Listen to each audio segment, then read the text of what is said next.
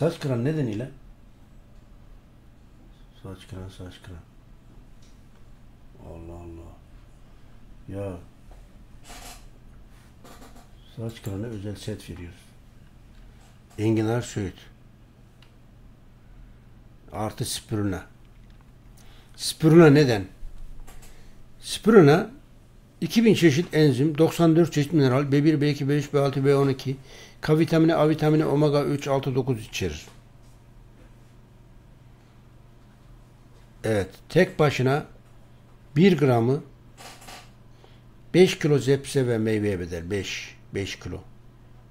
O kadar vitamin, mineral, enzim, omega 3, 6, 9 vesaire vesaire içerir.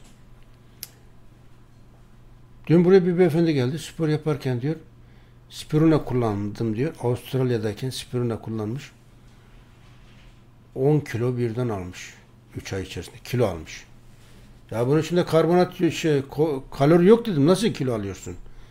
Kas yapıyor. Amino asit e, esansiyel ve esansiyel olmayan amino asitler içeriyor.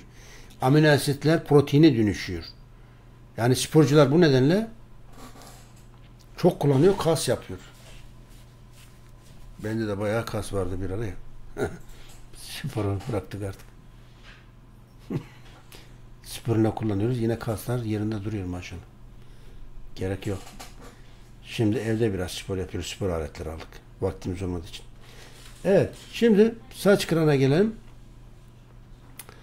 Saç kıran varsa bir bağırsağında mantar vardır. iki karaciğerinde yağlanma vardır. Üç damarlarda plak oluşmuştur. Siz bu ağacı sulamazsanız ne olur? Su almasa veya yağmur yağmazsa kurur. Yok. Saç da aynı ne gibidir? Ağaç, bitki gibidir. Sulamazsanız kurur. Saç kıran tabi mikrop kapmış bayan. Aynı şekilde hem zayıflamış, bağırsak sorunu var, karaciğer sorunu var, damar sorunu var, artı mikrop kapmış. Evet biz ona iksir, aloe vera jel, enginar forte, e, söğüt forte, spirulina forte verdik. Spirulina. Kullan bakalım ne olacak dedik. Kaç hafta sonra gelmişti? 6 hafta sonra mı? Okuldan gelince. Ha, burada yazıyor gerçi. Sevinçten babasına sarılmış. Babacığım iyi ki bunları kullandım. Saçlarım yeniden çıktı diye. Bağırsak mantarından kurtuluyor saç kırandan kurtuluyor. Ya bağırsak mantarı neleri tetikliyor? Evet. Öyle bir saç kıran vakası yaşamıştık ki yıllar önce yani birisi yaşamıştı daha doğrusu. Babası, çocuğun babası liseye gidiyor çocuk. Gideyim genç.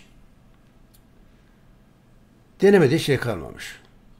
Kuaförler bunun bazıları asitle yakmışlar saç kıran noktayı, bazıları sarımsak sürmüşler.